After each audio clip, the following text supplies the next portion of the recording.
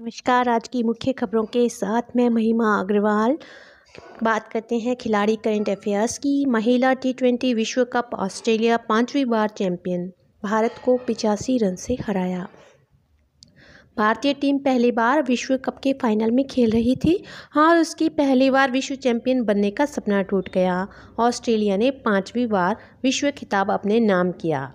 विश्व cup final खेलने वाली सबसे युवा खिलाड़ी बनी शेफाली वर्मा। भारतीय तीरंदाजी संघ ने एशिया कप से नाम वापस लिया। जाने क्या है कारण? ये कारण देखने के लिए आप विस्तृत खबरें देख सकते हैं। भारतीय क्रिकेट टीम के नए चीफ सिलेक्टर बने सुनील जोशी। जानिए इसके बारे में सब कुछ। इसके बारे में भी आप डिटेल खबरें देख सकते हैं। पर्यावरण की बात करें तो पर्यावरण के बारे में पर्यावरण मंत्रालय ने मध्य प्रदेश सरकार को जोनल मास्टर प्लान तैयार करने का आदेश दिया है। राष्ट्रीय चंबल अभ्यारण्य मध्य प्रदेश, उत्तर प्रदेश और राजस्थान के त्रि जंक्शन पर स्थित हैं। सबसे प्रदूषित देशों में भारत का पांचवा स्थान। घोंघे की नई प्रजाति का नाम ग्रेटा थनबर्ग के नाम पर रखा गया है।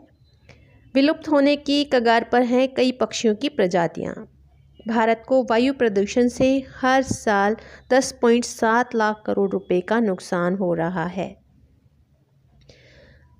इसरो के अनुसार 2275 किलोग्राम का जी सैट धरती पर बहुत जल्दी तस्वीरें लेने वाला पर्यवेक्षण उपग्रह है। केंद्र सरकार ने सामाजिक सुधार के लिए कृत्रिम बुद्धिमत्ता पर प्रथम शिखर सम्मेलन की घोषणा की। क्रिस्टीना कोच ने रचा इतिहास, लंबे समय तक अंतरिक्ष में रहने का रिकॉर्ड किया कायम। भारत ने क्लासिकल स्वाइन फीवर को नियंत्रित करने का टीका किया विकसित। भारत ने किया के फोर परमाणु बैलिस्टिक मिसाइल का सफल परीक्षण। इसकी खासियत जानने के लिए आप विस्तृत खबरें देख सकते हैं।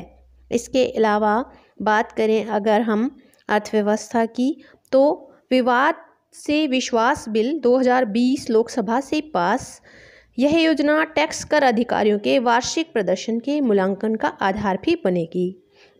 प्रत्यक्ष कर विवाद के मामलों को निपटाने के लिए आम बजट में विवाद से विश्वास योजना पेशकश की गई थी। केंद्र सरकार ने सार्वजनिक क्षेत्र के बैंकों, पीएसबी में व्यापक विलय को मंजूरी दी।